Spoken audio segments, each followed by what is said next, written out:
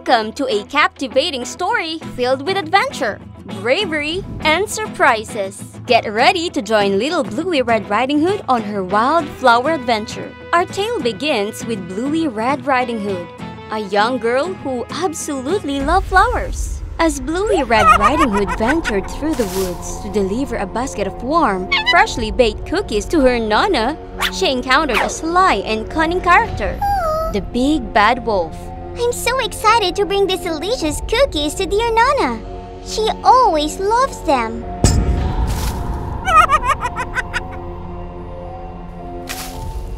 I hope I find my way to her cottage soon.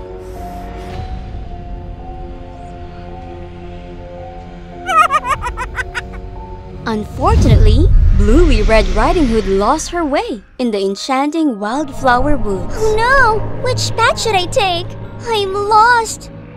Hey! Luckily for Bluey Red Riding Hood, a kind-hearted woodsman was nearby. Hello there, little one. Do you need help? That's right. I don't know the way home. Don't worry. I will guide you safely.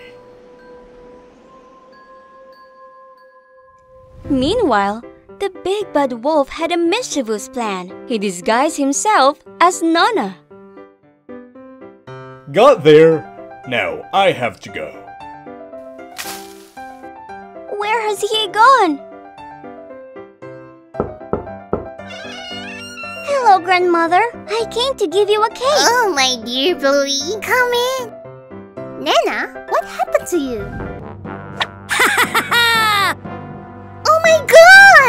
But just in time, Help! Help! the woodsman arrived and saw through the big bad wolf disguise.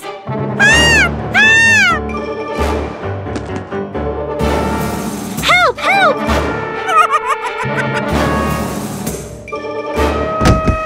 help! Help! The woodsman saved Bluey Red Riding Hood and her Nana from the clutches of the big bad wolf. Don't do it! Are you okay? Any problem. Let's go into the house with me.